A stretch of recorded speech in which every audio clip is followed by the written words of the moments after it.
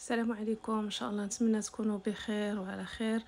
آه هاد النهار بغيت نشارك معكم واحد المقيلة ديال ال crevettes وال calamars اللي هي سهلة مهلة ولكن أكثر من ذلك أنها كتجي vraiment لذيذة. أول حاجة كنبداو بها كناخذوا واحد الطويجين اولا مقيلة فاش ما بغيتو كتزيدوا واحد الكمية ديال زيت الزيتون اللي كنشحروا فيها شوية ديال البصله أنا درت هنا بصيله صغيرة.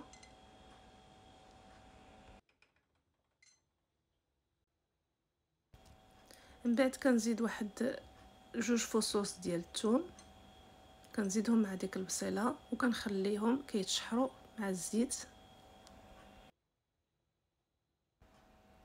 واحد رويز ديال المعلقة ديال السودانية اولا التحميره الحارة إلا عندكم ولا كنتو باغيين الحار. شوية ديال الكمون نص معلقة ديال الكمون. ومن بعد كندير شوية تحميرة الحلوة. ومن بعد كنزيد شوية ديال المليحة. أنا كانت عندي هاد المليحة. كنملحو الطواجن ديالنا على حسب الذوق. كنزيد شوية ديال البزار. ما كنكثروش بزاف.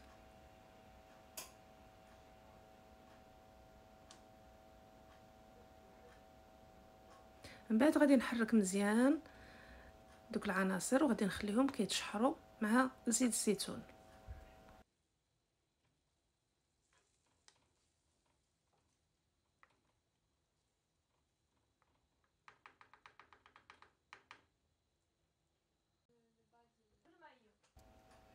كما كتشوفوا هنا زدت واحد مطيشة محكوكة. طرية. كنزيدوها لداك الخليط.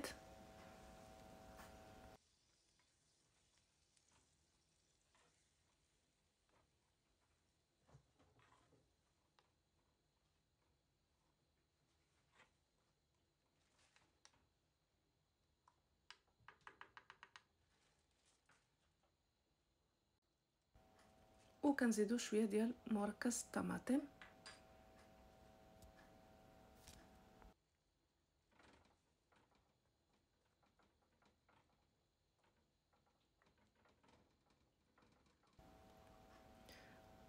ومن بعد كنزيد الكالامار.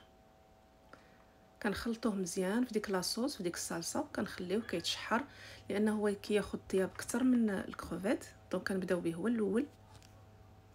هنا كما كتشوفوا غادي ناخذ الكروفيت غادي نوريكم واحد الطريقة ضروري أننا خصنا نقيو الكروفيت لأن كي كتشوفوا كيكون عنده في الظهر ديالو هذوك les intestins ديالو خصنا نحيدوهم مزيان لأن ماشي صحيين وكيعطيو واحد المذاق مر.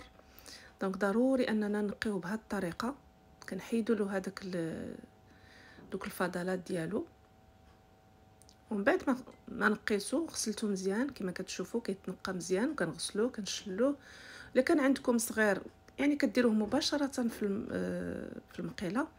أنا هذا عندي كبير شوية غادي نحاول ما أمكن نقطعو طريفات صغار يعني في الماكلة كيجي يعني آه، ساهل.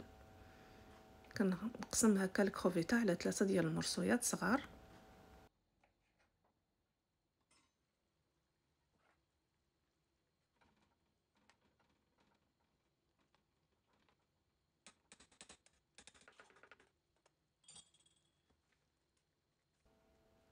وهنا كنضيفو ديك الكمية ديال الكروفيت من بعد ما نقيناها وغسلناها وقطعت طريفات غادي نزيدو على الكالامار وغادي نخلي الجميع كيطيب واحد عشرة دقائق وغنطفيو عليه لأن الكروفيت كما كتشوفوا ال crevette déjà عندنا راه طايب يعني ما غاديش نخليوه بزاف حتى يبس.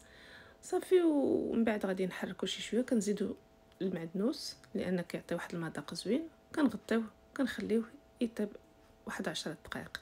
وهذا هو الطويجين ديالنا من بعد ما وجد آه، شاركته معكم يعني بطريقة سهلة. ونتمنى أنه يعجبكم إن شاء الله. وتهلاو في راسكم ومع السلامة. وإلى فيديو آخر إن شاء الله.